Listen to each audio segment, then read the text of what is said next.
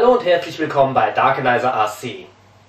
Heute möchte ich mich mal mit einer Frage beschäftigen, die vielen, die mit dem Modellbau beginnen wollen, so ein bisschen Kopfzerbrechen bereitet. Und zwar, wenn ihr Neueinsteiger seid und habt das hier einfach gesehen oder habt irgendwo draußen Leute gesehen, die mit den Dingern rumheizen und findet das toll und wollt das auch mal machen und steht jetzt vor der großen Entscheidung Verbrenner oder Elektro. Nitro oder Brushless. Was ist das Richtige für euch? Und da möchte ich heute mit euch einmal drüber reden, möchte euch so ein bisschen die Unterschiede und die Vor- und Nachteile der verschiedenen Arten des Antriebs ein bisschen aufzeigen.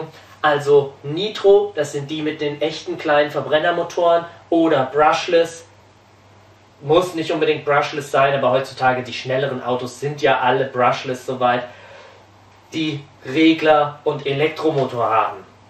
Was ist jetzt für euch das Richtige? Nun, letztlich kommt es so ein bisschen drauf an, was ihr natürlich eigentlich wollt, worum es euch bei der Sache geht. Und ähm, ja, sagen wir einfach mal so, das, was ich immer von vielen Leuten so als Argument höre, ist, äh, ja, Verbrenner ist das einzig wahre. Das hat ja mehr mit echtem Motorsport zu tun, das ist geiler Sound, das muss stinken und so. Hm, stimmt eigentlich auch. Soweit. Ne? Also natürlich macht so ein Verbrenner richtig Spaß. Deshalb habe ich mir ja auch irgendwann mal den ersten Verbrenner gekauft, weil das natürlich schon cool ist. Ne? Sowas wie so ein richtiges Auto, das einen richtigen Motor hat mit Benzin, das dann auch irgendwo qualmt und riecht und vor allem eben der Sound. Ne? Es ist ein Unterschied, wenn ich da an der Fernbedienung hänge und habe da richtig nur oder nur so ist natürlich ein Unterschied, ist ja ganz klar. Von daher natürlich macht das Spaß, wenn das laut ist, wenn das mit Verbrenner zu tun hat und so weiter, ist natürlich eine coole Sache. Die Elektros machen natürlich nicht so viel Lärm. Die haben nicht so einen geilen Sound und sind dadurch automatisch in unserer Wahrnehmung so einen Tacken weiter weg vom Realismus. Machen trotzdem auch richtig Fun. Und spritzig von der Leistung sind die auf jeden Fall. Die gehen höllisch ab, die Dinger. Ne? Also wenn ihr da einen ordentlichen Elektro habt mit einem Brushless-System und einem vernünftigen Lipo-Akku, dann hauen die voll rein. Dann lassen die auch fast jeden Verbrenner stehen. So, aber was man einfach wissen muss, Natürlich hat das Argument mit dem Realismus und sowas und mit dem, mit dem coolen Sound und so, das hat was für sich. Will er auch gar nicht schmälern. Ist schon klar, das macht Spaß. Ne? Gerade uns Männern kommt, Leute, wenn es knattert und stinkt, das macht Fun. Klar, ne? Aber dafür müssen wir auch teuer bezahlen.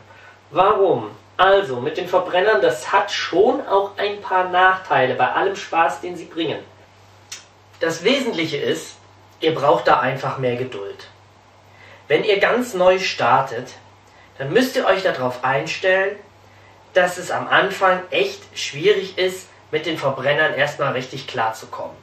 Weil gerade da der Verbrennungsmotor hier so klein ist, ist das eine ganz schöne Tüftelei, bis der mal richtig gut eingestellt ist und richtig läuft. Schaut einfach mal im Internet, wie viele Leute da Probleme haben, so ein Ding überhaupt anzubekommen oder es so einzustellen, dass es auch anbleibt und der Motor nicht alle paar Minuten wieder von alleine ausgeht oder verreckt oder absäuft oder was auch immer. Wenn ihr also von Natur aus sehr ungeduldig seid und die Vorstellung habt, ich will mir das Ding kaufen und loslegen und fahren, dann holt euch ein Elektro. Weil so einfach ist das mit dem Benzin, mit Benziner ist es ja nicht, mit dem Nitro ähm, ist es das nicht. Ihr müsst da auf jeden Fall Geduld haben. Der Nitromotor muss auch erstmal eingelaufen werden lassen. Was? Das ist jetzt korrektes Deutsch. Also ihr müsst den einlaufen lassen, den Motor. Wie das geht, kommt auch noch in meiner Nitro für Einsteiger Serie. Ähm, ihr könnt jedenfalls nicht das Ding aus der Packung holen und sofort losheizen. So einfach ist das nicht. Und ähm, ihr werdet mit Sicherheit auch nicht die Ersten, die das Ding am zweiten oder dritten Tag am liebsten vor der Wand schmeißen wollen, weil eben der Motor ständig ausgeht oder gar nicht erst angeht. Weil ihr irgendwo hingefahren seid auf einen coolen Platz zum Fahren und kriegt das Ding zum Verrecken nicht an.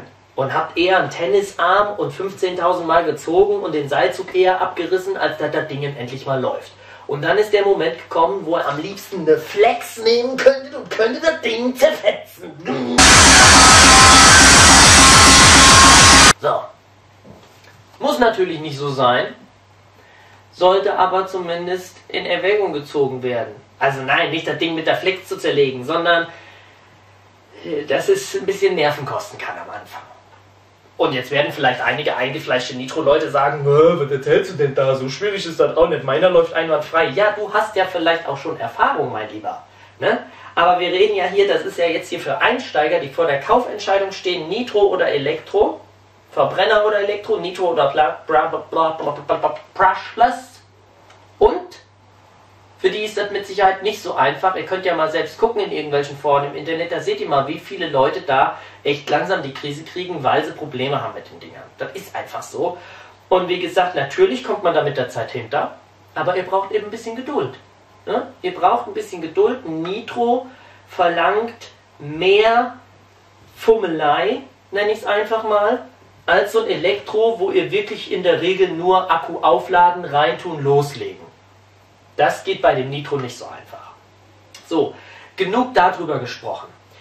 Zweite Sache ist, ihr solltet einfach auch bedenken, da das Ding nun mal stinkt und laut ist, müsst ihr auch einen geeigneten Platz haben, wo ihr damit fahren könnt. Es ist nämlich doch ein bisschen schlecht, das unbedingt hinterm Haus im eigenen Garten zu machen, da stört es nämlich die Nachbarn. Ihr müsst also einigermaßen mobil sein oder einen Platz in unmittelbarer Nähe haben, wo ihr mit den Dingern auch wirklich fahren könnt. Denn ihr wollt ja keinen Ärger haben mit der Polizei oder mit den Nachbarn. Ne? Also, von daher, mit dem Brushless kann ich am Sonntagmittag um 1 in einem kleinen Wald vom Altersheim fahren.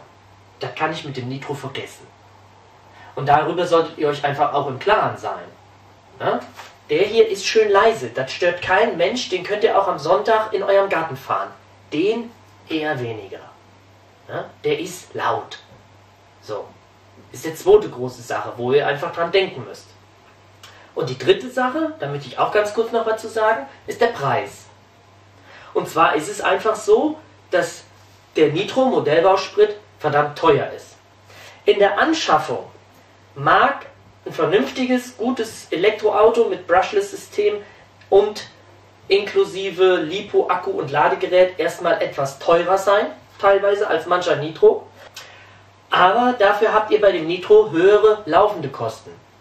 Jetzt mal abgesehen von irgendwelchen Ersatzteilen, wenn was kaputt ist, die braucht er ja bei beiden. So. Aber hier ist es in der Regel so, wenn ihr bei dem Elektro den Akku erstmal gekauft habt, dann könnt ihr den ja ohne Problem, sag ich mal, tausendmal laden oder so. Also sagen wir einfach mal, ihr könnt also mit Sicherheit zwei Jahre mit dem Akku fahren und habt erstmal Ruhe.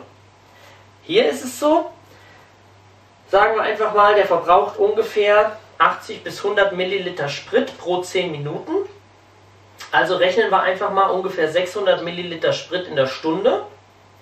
Ein Liter Sprit, jetzt machen wir einfach mal ganz grob Pi mal Daumen, ne? sagen wir einfach mal ein Liter Sprit anderthalb Stunden fahren. Ein Liter Sprit kostet 12 Euro ungefähr. 2,5 Liter kriegt er dann für 24 Euro. Also sagen wir einfach mal so ungefähr Liter 10 Euro. Ja? Machen das jetzt mal ganz grob, damit wir besser rechnen können. Das heißt, anderthalb Stunden fahren kosten euch 10 Euro Sprit. Das ist ja nicht allzu wenig, ne? Das ist ja schon ein bisschen was. Und dazu kommt auch noch, dass ihr alle zwei, dreimal fahren neue Glühkerze braucht. Die liegt auch zwischen 5 und 10 Euro.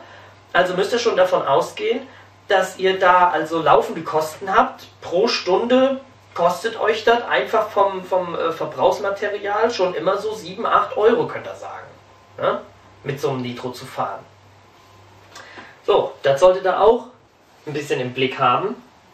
Und zuletzt, ich meine, bei allem Realismus im Sinne von der hat einen Verbrennungsmotor, der hat natürlich auch eine, ich sag mal, andere oder realistischere Kupplung, falls so ein Elektro überhaupt eine Kupplung hat. Manche haben, manche haben nicht. Der hat auch ein ganz anderes Bremssystem hier. Der bremst ja einfach nur mit dem Motor. Der hier hat richtige Bremsscheiben. Der hat einen extra, einen zweiten Servo für Gas und Bremse. Das heißt, der ist vom Aufbau insgesamt komplizierter. Und je mehr Teile so ein Ding hat, umso mehr Teile können theoretisch natürlich auch kaputt gehen. Ne? Ja, ich weiß, hört sich jetzt wieder doof an. Ne? Kaputt gehen kann bei beiden was, klar. Aber Tatsache ist, der Nitro ist komplizierter und ist einfach auch insgesamt aufwendiger. Es ist alles immer so ein bisschen ölig. Es wird dadurch ein bisschen schmutziger durch die Abgase, durch das Öl. Es ist etwas komplexer. Ihr braucht insgesamt hier mehr Zeit. Auch danach zum Saubermachen, Luftfilter reinigen und neu ölen und sowas. Also mit anderen Worten, ich will das jetzt gar nicht schlecht machen im Sinne von Nachteilen. Aber wenn ihr vor der Entscheidung steht, dann müsst ihr euch einfach überlegen, geht es euch in allererster Linie einfach nur ums Fahren? Ihr wollt das Ding aus der Packung holen und loslegen und wollt auch zu jeder Zeit immer und überall fahren können, dann ist Elektro das Richtige für euch. Geht es euch darum, auch an den Dingern rumzutüfteln? Ihr seid ein bisschen geduldiger, ihr habt auch Geld genug und habt auch kein Problem damit, mal ölige Finger zu haben. Okay, das solltet ihr vielleicht bei beiden nicht, aber trotzdem hier mehr.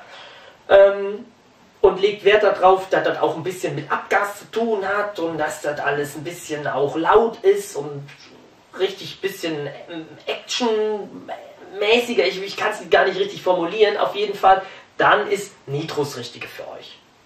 Ne? So. Und wenn ihr jetzt sagt, ja, also bei allem, das Nitro, das reizt mich aber einfach doch. Dann, okay, dann sehen wir uns hoffentlich bald wieder bei meiner neuen Serie Nitro für Einsteiger, wo ich euch alles erkläre, was ihr wissen müsst.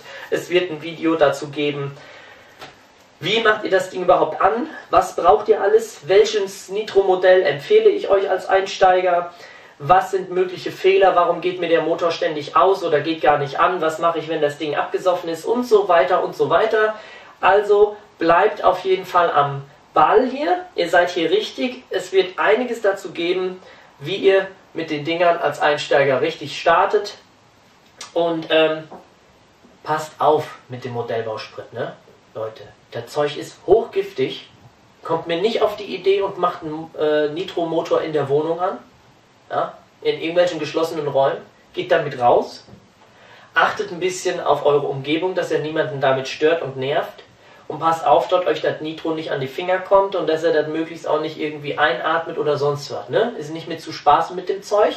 Da solltet ihr nämlich auch noch einen Gedanken dran verschwenden, eventuell, dass ihr nämlich in einem ordentlichen Modellbaugeschäft, wenn ihr Nitrosprit kauft, müsst ihr einen Ausweis vorlegen, ihr müsst volljährig sein und ihr kriegt sogar eine Gefahrenstoffbelehrung, wenn es ein vernünftiger Verkäufer ist. Und das sollte euch auch im Klaren sein, ne?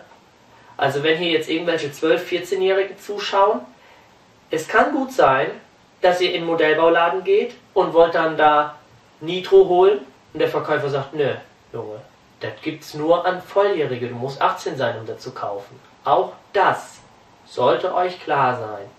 Und ihr müsst natürlich auch überhaupt immer das Zeug besorgen. Die Batterie, die habt ihr einmal zu Hause, den Akku, den klemmt ihr an der Dose dran, ladet dann immer wieder auf und gut.